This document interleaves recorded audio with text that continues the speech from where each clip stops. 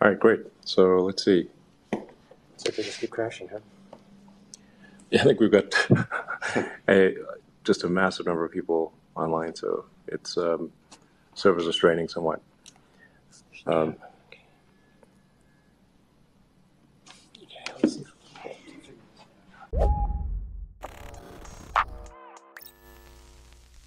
Well, it's official. Governor Ron DeSantis of Florida is running for president, and to say that his campaign is off to a rocky start would be quite the understatement because his campaign launch was a complete fucking disaster and it was absolutely hilarious to watch. So there were reports yesterday that were almost surreal that he was going to announce his 2024 presidential campaign with Elon Musk live in a Twitter Spaces event. Now, for those of you who don't know what that is, Twitter Spaces is basically Zoom without the video. So this was an audio call where he was going to be making this announcement and Twitter is known for its glitches. It is a platform with notorious bugs, so it's a bad idea to begin with. But even if everything was copacetic and it went smoothly, think about how bad of an idea this is just from a marketing perspective. Like the reason why these presidential candidates make these announcements to crowds of people is so that way there's people cheering there. You feel the energy, you get excited. But instead, Ron DeSantis chose to hold this announcement with him and a couple of other middle aged men breathing into the microphone with their mouths using shitty phone mics. And it just was a bizarre decision, but as bad as it sounded on paper, in practice, it was exponentially worse. It was a complete disaster. So, as the Washington Post reports, for the first time, a presidential candidate would use the site's premier audio feature to announce a run for the White House, and he'd do so in an exclusive interview with new CEO Elon Musk. But just minutes into the Twitter spaces with Florida Governor Ron DeSantis, the site was breaking because of technical glitches as more than 600,000 people tuned in. Users were dropping off, including DeSantis himself.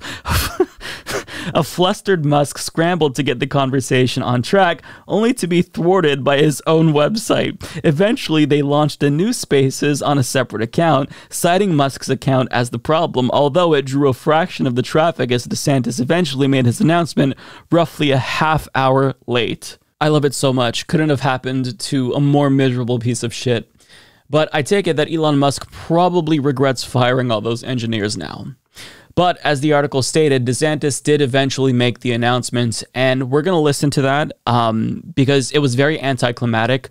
But the best part was them scrambling to get it together. They start talking, and then there's silence, and then they start talking again, and then there's an echo it's just beautiful. So I made a bunch of cuts because this was long, so we can't listen to all of it. But any of like the white flashes, that means I put a cut in there. But I, just wanted to give you a little bit of a taste as to how unbearable this was. Like imagine being excited for DeSantis's campaign announcement, and you have to put up with this. So without further ado, enjoy.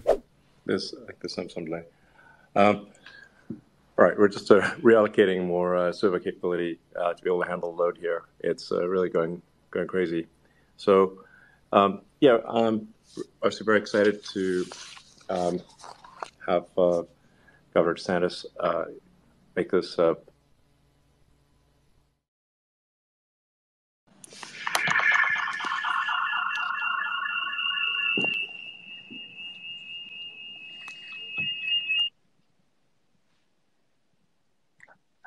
Now it's quiet. Uh, good afternoon, good evening, or good morning, everyone, depending on wherever in the world you're joining us from. I'm broadcasting live from David from Twitter headquarters. It's David Sacks here. Uh, Elon is sitting next to me, and we want and we want to welcome you to this historic Twitter Spaces event, and more broadly, a first in the history of social media. Uh, tonight, I'm pleased to introduce two individuals who've done more to loosen the. grip. All right, sorry about that. We we've got so many people here that I think we are we are uh, kind of melting the servers uh, which is a good sign. Um, all right, I'd like to just introduce the the uh, the folks in in the room here. So it's safe to say we wouldn't be making history without the man sitting next to me, Elon Musk. His decision to purchase this platform last year to restore to its original mission as a beacon for free speech, and even to expose Twitter's past complicity with a government censorship regime might have surprised many, but not those of us who've known and worked with Elon for nearly a quarter century. His commitment to His freedom, commitment to freedom and his willingness to put his money where his mouth is, upset the narrative, upset the control narrative imposed control on us by imposed our on us government. by our government, elite institutions, and corporate media. Yeah. Well, let's see. So, yeah, Governor, uh, there's been a lot of speculation over the last couple of months about your your plans. Um, I understand that you may have an announcement to make. Uh, we've got, I think, a, a record audience assembled here. Uh, you know, the, probably the biggest uh, room that's probably ever been assembled online. Uh, what what would you like to tell them? Well, I am running for president of the United States to lead our great American comeback. Look, we know our country's going in the wrong direction. We see it with our eyes and we feel it in our bones. Our southern borders collapse. Drugs are pouring into the country. Our cities are being hollowed out by spiking crime. The federal government's making it harder for the average family to make ends meet and to attain and maintain a middle-class lifestyle. And our president, well, he lacks vigor, flounders in the face of our nation's challenges, and he takes his cues from the woke mob. I don't think it has to be this way. American decline is not inevitable. It is a choice. And we should choose a new direction, a path that will lead to American revitalization. We must restore sanity to our nation. I'm pumped. That was ex- that was very exciting.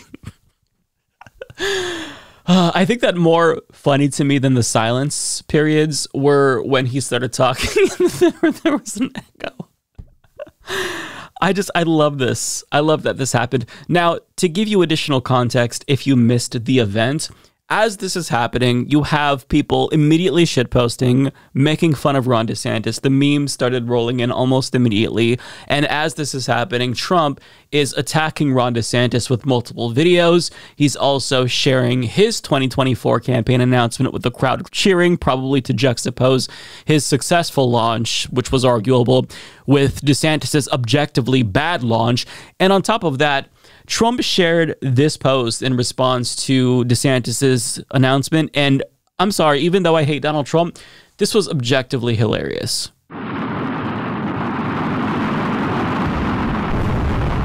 That is quality shit posting, my friends. Quality shit posting. Now, to make matters worse for DeSantis, if you look at the headlines, none of them were talking about the excitement or his comeback plan or any policies. Rather, they were mostly reporting on how disastrous his announcement was. Now, with that being said, Ron DeSantis ultimately posted a video, his first campaign ad, on Twitter, which he probably just should have done to begin with rather than hold, holding this live space. But after watching this, I honestly I don't know who this man is supposed to appeal to. Like I get that he appeals to tradcons because of the attack on woke bullshit, but he has negative charisma and he chose perhaps the only person on the planet with less charisma than him to help him with this announcement. I'm of course talking about Elon Musk, but let's watch and then we'll discuss. Our border is a disaster. Crime infests our cities. The federal government makes it harder for families to make ends meet, and the president flounders. But decline is a choice. Success is attainable, and freedom is worth fighting for. Righting the ship requires restoring sanity to our society, normalcy to our communities, and integrity to our institutions. Truth must be our foundation, and common sense can no longer be an uncommon virtue. In Florida, we proved that it can be done. We chose facts over fear, education over indoctrination, law and order over rioting and disorder. We held the line when freedom hung in the balance. We showed that we can and must revitalize America. We need the courage to lead and the strength to win. I'm Ron DeSantis, and I'm running for president to lead our great American comeback. Listen, I'm not the target demographic for that ad, but even by other Republican standards, that was just boring. That was just boring. And I'm sorry, but Ron DeSantis, he, as somebody with an annoying nasally voice myself, not necessarily nasally, but I don't have like the best voice, objectively speaking, right? It's just, it's facts. But like, as somebody with a bad voice, you need to know your strengths and your weaknesses. And DeSantis should not have narrated his own ad. He should have hired a narrator, right? Because what you were saying, like even if he were talking about this in a substantive way, when you're sitting there with this nasally fucking voice, it's just a turnoff. So look, he is launching with a huge, huge deficit to make up between him and Donald Trump. And there were some moments after the 2022 election when he was uh, getting pretty close to Trump. But that time has passed, and now he is looking to be the laughing stock of this election cycle, not necessarily only because of his own doing, but because Donald Trump is going to rip him to shreds. And I honestly can't wait to watch. So this is only the beginning, though. So um, the memes are going to be fire, the uh, disasters are going to continue, and I'm going to grab the popcorn because I love watching the universe just uh, give back to these fascists what they put out. So yeah, DeSantis 2024, folks. It's uh, it's off to a pretty rough start. I'm gonna come. Do not come. Come. Welcome to the Come Zone.